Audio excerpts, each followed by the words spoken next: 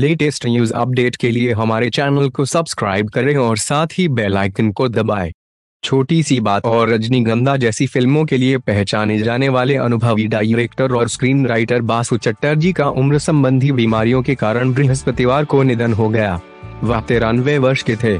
बासु चट्टर्जी ने Santa cruise स्थित अपने आवास में नींद में ही अंतिम सांस ली।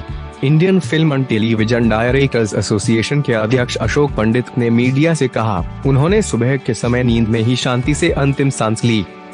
वह उम्र संबंधी दिक्कतों के कारण पिछले कुछ समय से ठीक नहीं चल रहे थे और उनके आवास पर ही उनका निधन हुआ। यह फ़िल्म उद्योग के लिए भारी क्षति है। अशोक पंडित ने बताया कि फ़िल्म निर्माता का अंतिम संस्कार सांता क्रूज मशान घाट पर किया जाएगा। डायरेक्टर और स्क्रीन राइटर बासु चैटर्जी ने साल उन्नीस सौ उनहत्तर में आई अपनी फ़िल्म सारा आकाश के ज़रिए फिल्मी दुनिया में कदम रखा था।